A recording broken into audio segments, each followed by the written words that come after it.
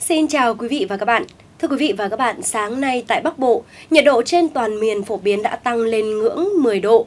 Tuy nhiên, quá trình hội tụ mạnh mẽ tiếp tục mang lại những cơn mưa rào có lượng khá cho các tỉnh thành thuộc khu vực phía Đông Bắc Bộ. Tổng lượng mưa chỉ tính trong vòng từ đêm qua cho đến sáng nay đã lên đến mức từ 30 cho đến 60 mm, nên cảm giác giá rét vẫn còn bao trùm hầu khắp các tỉnh thành miền Bắc. Tuy nhiên hiện nay, vùng hội tụ gây mưa đang dịch chuyển hẳn ra phía biển, cho nên trong đêm nay và ngày mai, tại khu vực Bắc Bộ, thời tiết sẽ quay trở lại trạng thái khô giáo và ít mưa.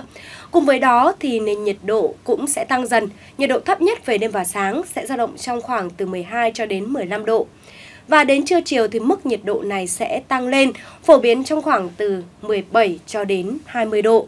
Như vậy là rét hại sẽ chấm dứt từ hôm nay, thời tiết sẽ ấm áp dần trong những ngày tới trước khi có một đợt rét đậm vào đầu tháng 2.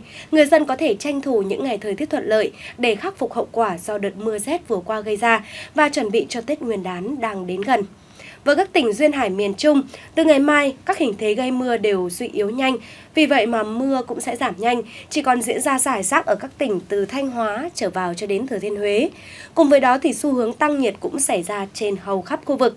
Rét đậm rét hại như những ngày vừa qua, về cơ bản sẽ chấm dứt hoàn toàn tại khu vực Bắc Trung Bộ. Trong khi đó, khu vực từ Quảng Trị cho đến Huế thì trời sẽ không còn rét nhiều nữa mà chỉ còn lạnh về đêm và sáng.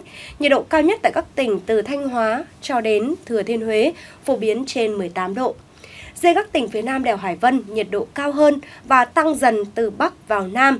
Riêng một số tỉnh cực Nam Trung Bộ thì có số giờ nắng nhiều trong ngày nên nhiệt độ tăng cao từ 29 cho đến 32 độ. Thời tiết thuận lợi cho các hoạt động thường nhật cũng như là du lịch trong những ngày tới tại đây. Cuối cùng là thông tin thời tiết tại các tỉnh Tây Nguyên và Nam Bộ. Trong đêm nay và ngày mai, nơi đây vẫn có thời tiết khá ổn định so với các nơi khác trên cả nước. Phổ biến vẫn là tình trạng ít mưa, ngày nắng với nhiệt độ cao nhất ngày phổ biến từ 28 đến 32 độ tại khu vực Tây Nguyên và từ 31 cho đến 34 độ tại các tỉnh Nam Bộ. Tuy nhiên, do mưa ít xảy ra nên người dân cần lưu ý tích trữ nước ngọt để cung cấp cho cây trồng vật nuôi trong những tháng mùa khô này. Chuyển sang những thông tin thời tiết trên biển.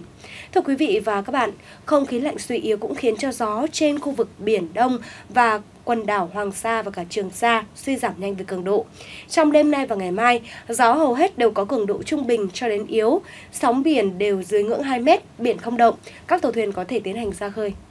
Như vậy là các tỉnh miền Bắc mưa sẽ giảm nhanh và nền nhiệt độ tăng dần, chỉ còn rét đậm ở các tỉnh vùng núi. Trung Bộ mưa cũng giảm và rét hại rét đậm chấm dứt ở các tỉnh từ Thanh Hóa đến Quảng Bình. Trong khi đó, Tây Nguyên và Nam Bộ thời tiết ít mưa và có nắng nhiều. Đến đây bản tin thời tiết tổng hợp ngày 28 tháng 1 xin được khép lại. Xin kính chào tạm biệt và chúc quý vị có một buổi tối thật ấm áp và hạnh phúc.